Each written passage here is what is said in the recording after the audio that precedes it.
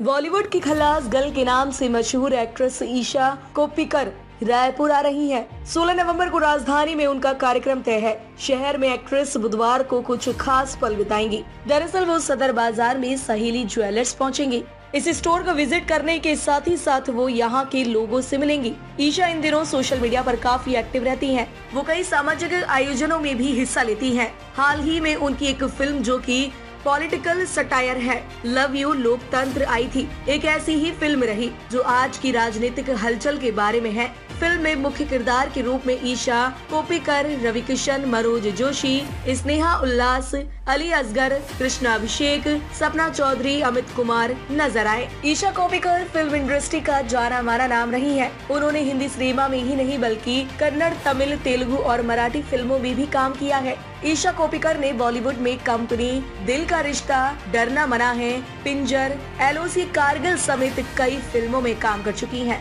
अभिनेत्री ईशा कोपिकर का जन्म 19 सितंबर 1976 को मुंबई में एक कोंकणी परिवार में हुआ था। ईशा ने अपनी पढ़ाई मुंबई से पूरी की। इस दौरान ईशा का झुकाव मॉडलिंग की तरफ़ हुआ।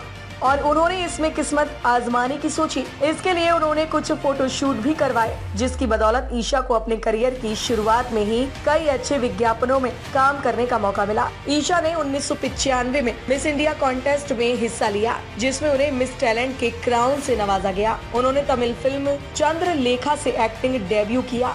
इसके बाद बॉलीवुड का रुख किया।